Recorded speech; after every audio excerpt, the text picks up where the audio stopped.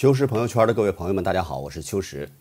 以前呢，有朋友给我起过这么一个绰号，叫“人肉区块链”，说我就像区块链一样，能够标识、认证许许多多的活人。因为我很多朋友们建立起了连接，甚至他们达成了一些合作，谈成了一些生意，我也为此非常感到高兴。我们这种人在社交环境当中被称之为平台型人格。我们一个人提供一个平台，却可以为更多的人提供资源和机会。我也非常愿意做这件事情。我觉得人活着最大的价值是为别人，是为社会提供价值。咱谈不上说穷则独善其身，达则兼济天下，但至少在养妻活儿、照顾好父母的同时，能够关照身边的兄弟，关照身边的朋友，这是人活着的意义体现。之前有朋友说：“秋实，你做 YouTube 要不要开一个这个会员频道？”但是我就在想，我开会员频道干嘛呢？我有什么视频内容是值得别人付费花钱的呢？我愿意去秉承最原始的互联网精神，那就是分享。直到有一天，有这样一个朋友在我的社交圈子里面出现，他呢叫小沙，是一位脑瘫患者，身体呢非常的不方便，但是智力丝毫不逊色于普通人，而且有着很好的写作天赋。因为他行动不便，所以从小在家里面广泛的阅读，写了很多的新闻评论、杂文、小说。我读了他的作品以后，非常受感动，真的希望将他的作品呈现给大家。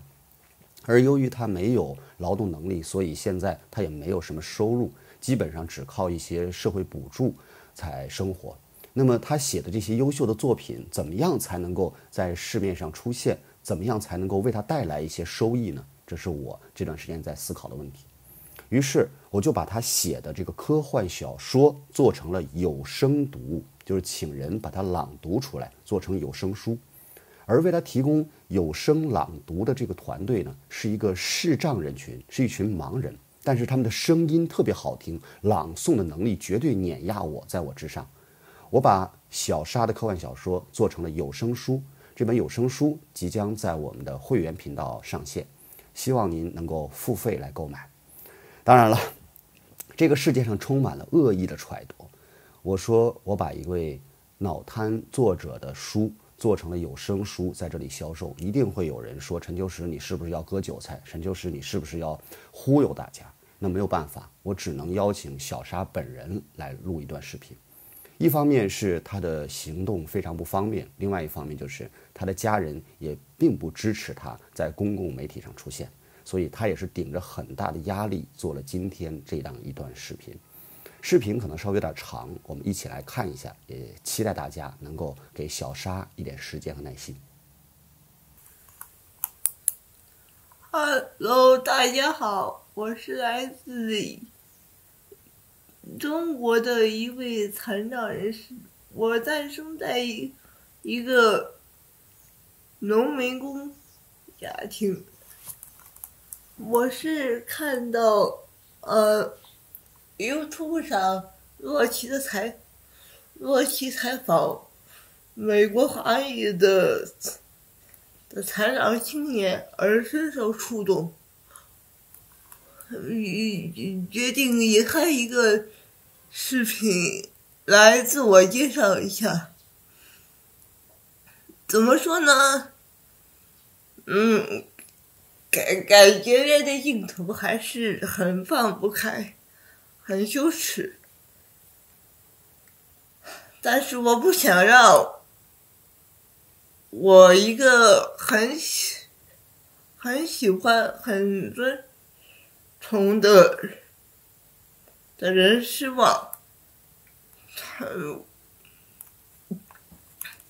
很尊崇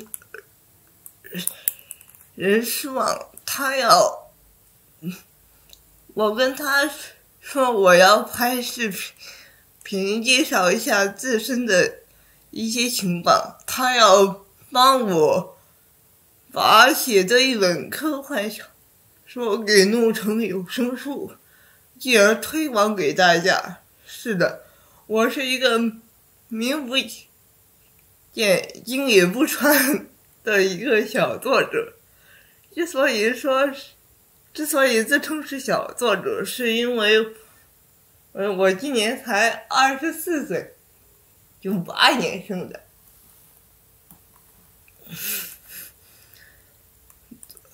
所以我实在是构不成一个作这听起来这么老成持重的字眼，所以我才在前面加一个小字。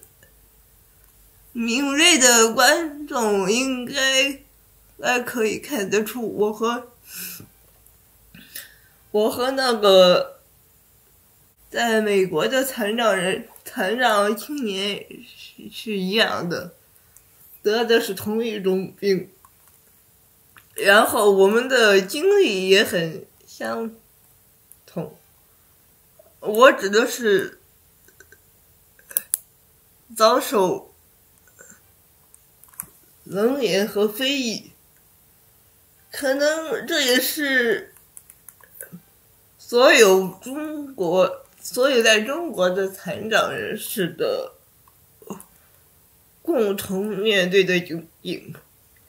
我还记得我在商君书里看到过一个类比，说如果在朝堂之上，或或者在公事的圈子里有一个残疾，那又是对所有人的侮辱。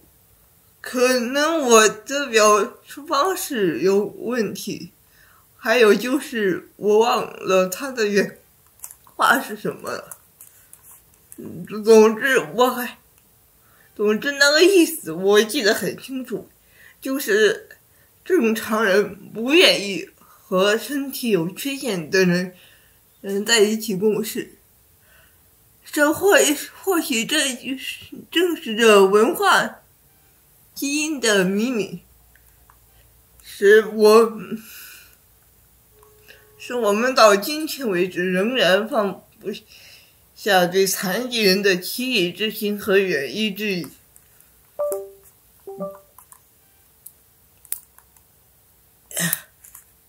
而且这种心理要素。也因为残疾人在公共领域的话语权权缺失而有所增增强。残疾中国的残障人士是出能有多是有多困难？那相信大家看完华裔残障人士的自述，书心里都有一个了解了吧？我就说。说下我自身的经历了。我我是只要有人握住我的手，我就还可以走动的。但是我却还是只能被困锁在家里，想出出去也只能在家的附近走走，没办法去太远的地方，除非是看病。才可能出远门。小时候还经常，还能经常逛一下超市，但是如今大呃，反而更不能出门。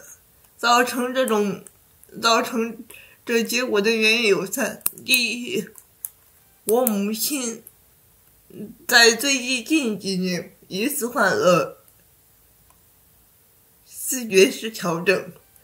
之所以说是疑似，是因为我父亲还没没有带他去医院院看专门的医生确诊。他也越来越不愿意出门，也越来越不愿意和人打交道了。他会跟人胡言乱语，我受他的影响，也不想和他一起出远门。了，第二，因为我这个类型，我这个病会导致我身体体不由自主的乱动，经常给他人、嗯给我自己带来意想不到的麻烦和困扰。第三，我所受到的歧视主要还是啊，在村落里。我出出去还是很少的，大部分大部分外界的人，嗯，见到我这样的，顶多也就是毕而远之吧，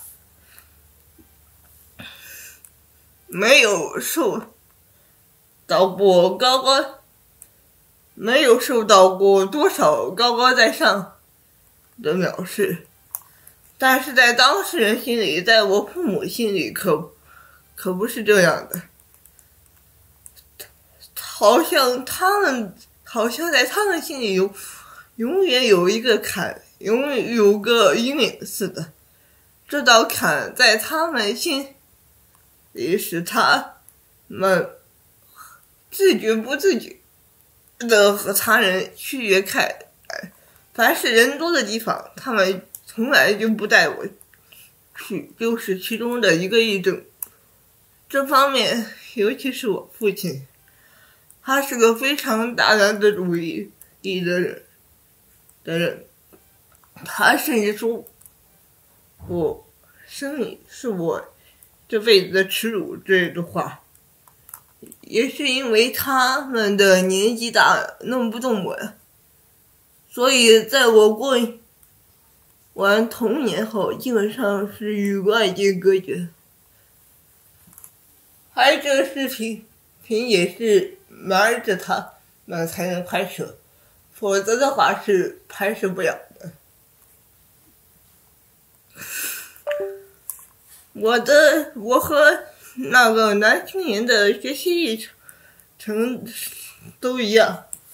刚开始学习的时候，父母教会了我一些拼音和字，然后通过看电视上的字幕。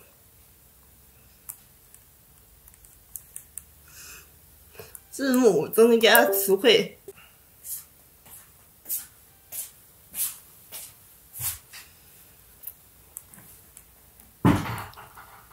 再到后来有了网络，我们家有网络还是一件挺老的事情。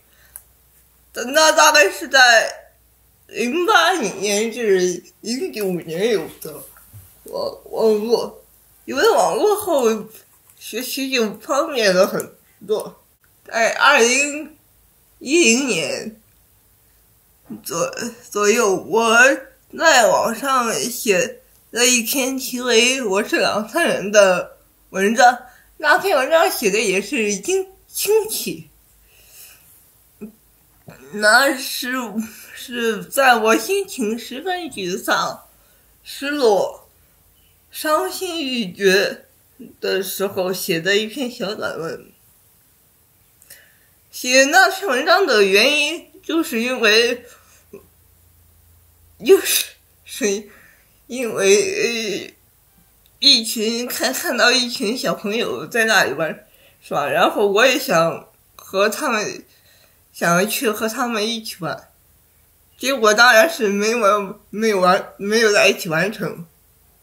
就非常的懊恼跟失魂落魄吧，结果就把这这些委屈一股脑的写了出来，之后非常幸运的被一个被一位网友看到了，看到后他就建议我走步写作生涯，那那写作的话肯定是要读书的，因为呃我开始时。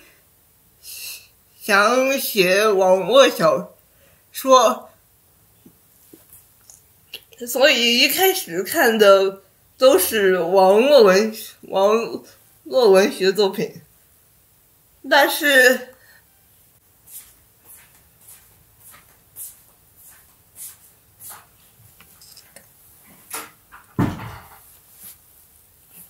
但是在之后，我觉得写网络小说不适合我。因为我更新的速度太慢了，码字的速度也太慢了，所以我就开始看严肃文学。看严肃文学之后，就养成了读书的习惯。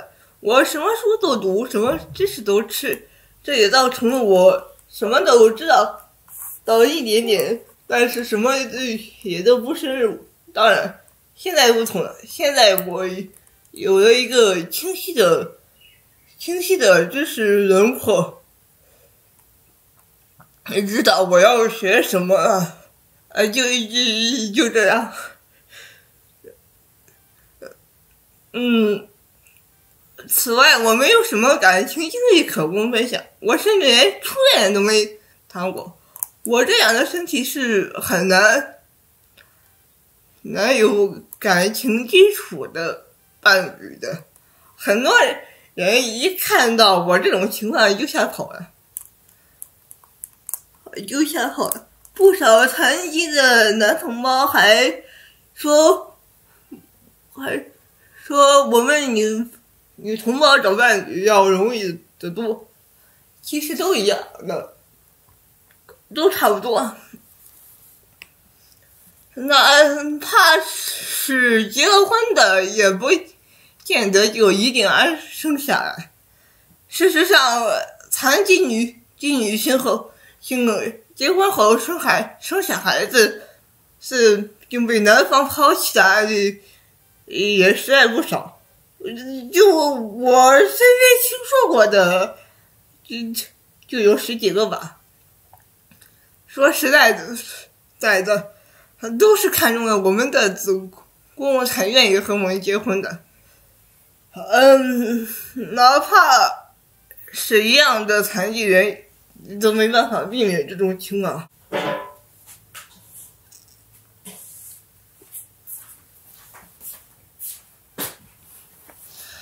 我们家几个月前也找了个，但是男方后来又找了个个更合适的，又不肯了。或许，呃，是，估计也是因为我和他的思想不搭边吧。总之就是吹了。OK，就就到此为止吧。我我我是不善言辞的，我是个不善言辞的人，希望能够呃。就此说明我的情况吧。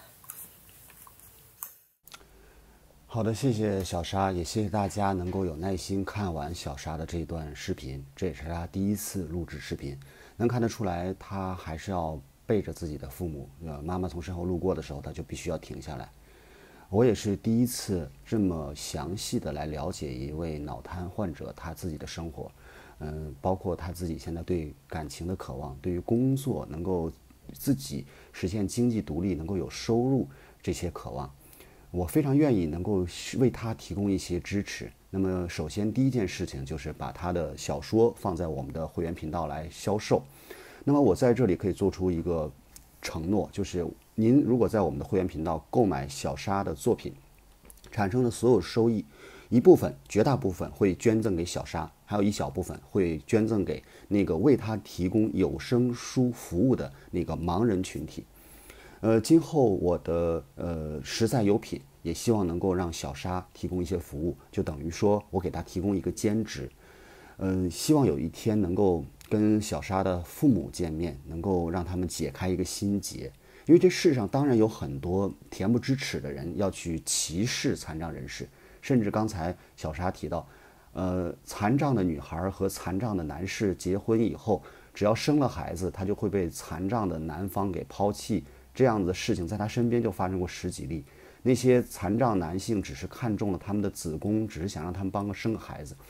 在中国的底层社会，在中国的农村，还有许许多多这样的事情在发生。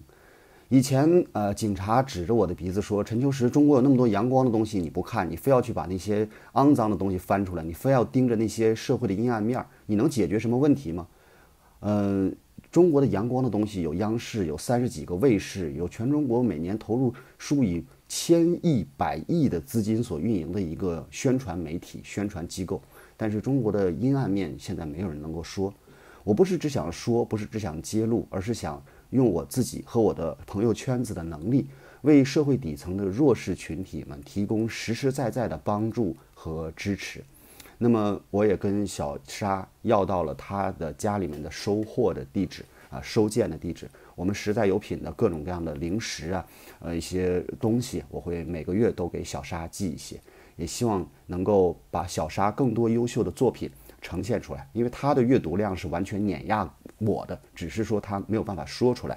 他的小说、他的杂文、他的时事评论，以后我们会以文字的形式或者以有声读物的形式，在我们的会员频道当中呈现。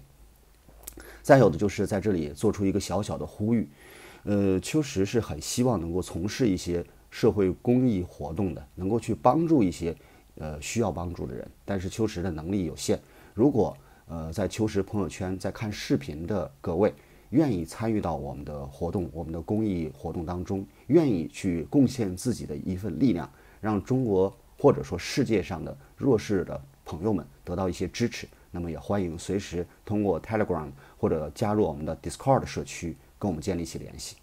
现在我会把更多的精力放在 Discord 社区的运营上。我希望善良的朋友能够彼此找到，我们不要在国内跟那些粉区们一起浪费时间。包括小沙，我也想办法，哦，因为我现在也在做一些移民的业务，看看能否能够为他提供一个出国接受治疗或者出国呃工作这样的机会，我尝试一下。呃，秋实不是神仙，秋实的能力也是有限的。但是我想做的事情，我一定会拼尽全力。就好像我这么一个骨瘦如柴的人，花上一年多的时间练拳击，我也能打赢一个比我重十多公斤、十七岁的棒小伙子一样。不管做什么事情，只要是对的，只要是充满着善意的事情，我们就应该拼尽全力。这世上有很多值得我们去关心的人，这世上有很多值得我们去做的事情，让生命充满光芒，让生命充满意义。这是我生存的宗旨。感谢您收看这一期的节目，我们下期再见。母亲，什么是自由时代啊？我告诉你，自由主义可是一个邪教组织的名字。以后如果你不想做人质的话，就不要再提这个名字了，懂吗？这世界有多幸运，我有个我们，